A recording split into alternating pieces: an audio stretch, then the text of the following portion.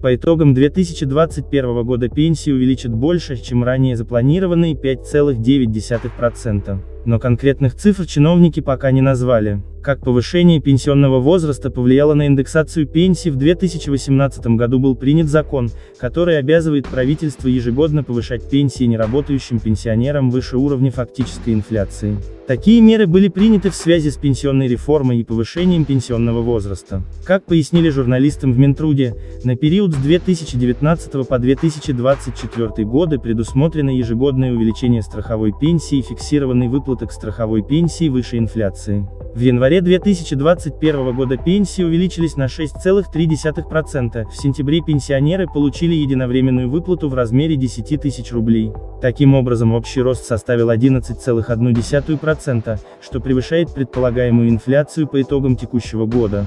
А за последние 6 лет индексация обогнала инфляцию на 9%. С 2015 года инфляция нарастающим итогом составила 46%, а индексация страховых пенсий неработающим пенсионерам – 55%. Индексация пенсий в 2022 году будет выше уровня инфляции, но это индексация в 2021 году, по итогам которой средний размер страховой пенсии по старости для неработающих пенсионеров составил 17 481 рублей.